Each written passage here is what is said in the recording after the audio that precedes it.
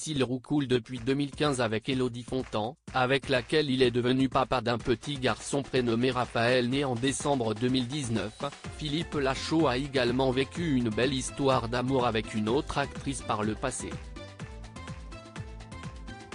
Ensemble au casting du film Jour J sorti en 2017, l'acteur et Rezem Kérissi ont été amoureux et ont vécu une très belle relation restée depuis gravée dans leur mémoire.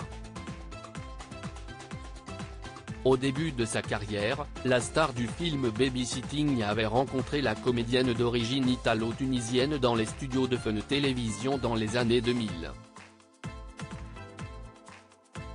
Leur histoire aurait eu lieu en 2004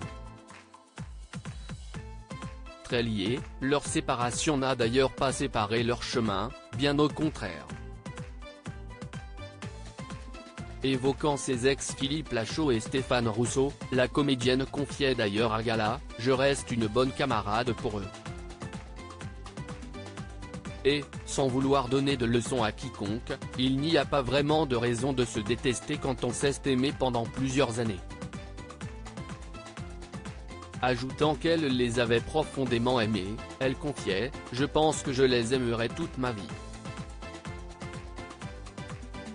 Même si l'amour prend une forme différente. Je les aime profondément je pars du principe que, quand on a aimé une personne, que l'on a des souvenirs, qu'il n'y a pas eu tromperie, se fâcher est violent. Alors si est-il vrai que je reste très proche de Stéphane, Rousseau, le comédien, note de la rédaction, Philippe Audotrex. Je les aime profondément, expliquait-elle également en décembre 2017, auprès des journalistes de Closer. Désormais mariée à Gilles Lemaire et maman d'un petit garçon né en juin 2019, Rezem Kérissi semble aussi très bien s'entendre avec la nouvelle chérie de son ex, Elodie Fontan. La preuve, elle continue de jouer dans les films de son ex Philippe Lachaud et avec sa nouvelle chérie notamment dans Nicky Larson et Le Parfum de Cupidon, 2018, et 30 jours max, 2020.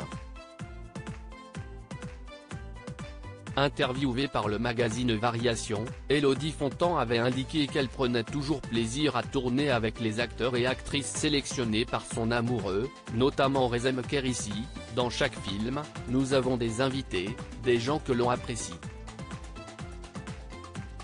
Nous sommes une bonne équipe et on aime bien s'entourer de personnes cool avec une bonne énergie, confiait-elle.